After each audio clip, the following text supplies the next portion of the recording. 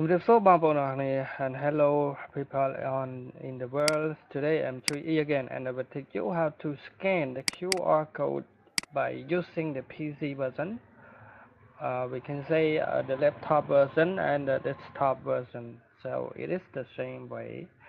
As you know that uh, the camera on the laptop version is does not support well or does not support with the QR code scanning. So if you really want to uh, scan the QR code using the computer, you should doing the following step like this.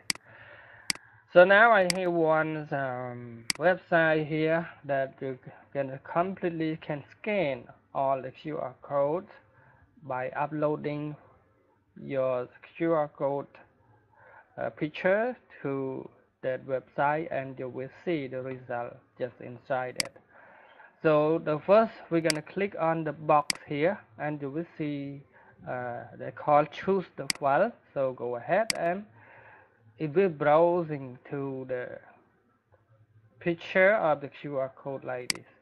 So uh, this is my QR code the line QR code.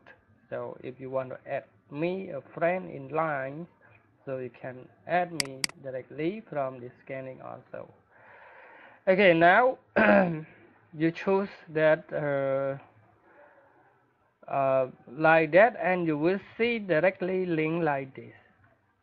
After you have already uploaded the QR code like this you will see the link is appearing just below on the picture. So this is the way or this is the link that goes through to the the link.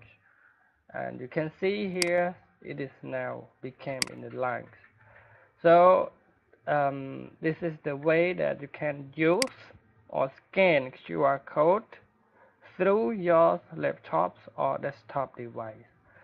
So thank you for watching my video tutorial. I hope you guys, I hope uh, this video is really help to you. So thank you.